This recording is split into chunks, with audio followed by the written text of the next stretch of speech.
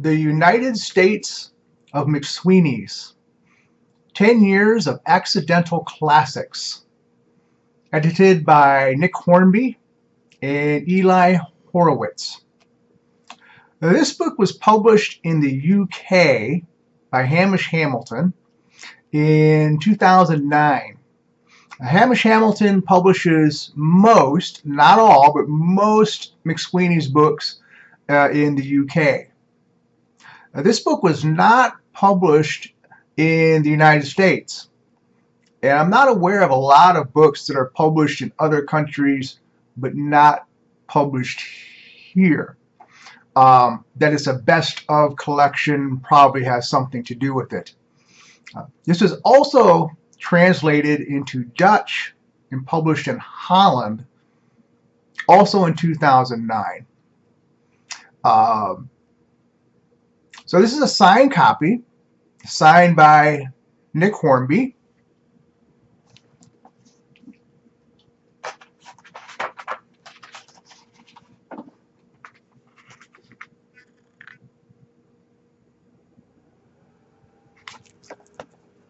I have a number of things signed by Nick Hornby that he's done with McSweeney's.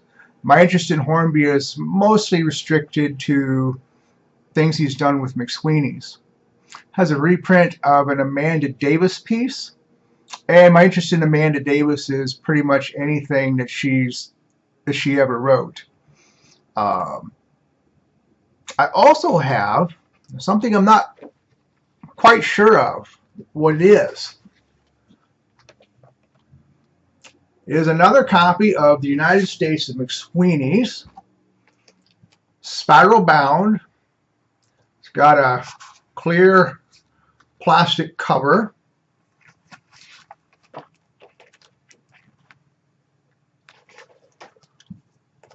Black cardstock on the back cover. The United States of McSweeney's was only published in hardcover in the UK. And it was never published as a paperback, certainly not as a spiral bound. This isn't marked in any way as to what it is. The interior of the book is identical to the retail copy. The front matter has the copyright page for Hamish Hamilton, uh, 2009. It's marked for a first printing. Um, there's nothing here to suggest exactly what it was. So I figure either an internal copy with Hamish Hamilton for their use only, or possibly this was the version of the uncorrected proof or advanced reading copy that was distributed. If this was the proof or review copy, either there it was never uh, it was never stickered with any contact information and it got out that way, or it would have originally included some ephemera, a cover letter, maybe several several sheets of, uh, of information about the book. Pull this cover back. Glare.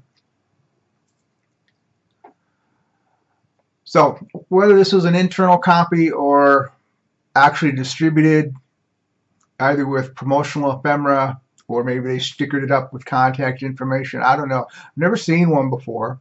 I bought it out of the UK.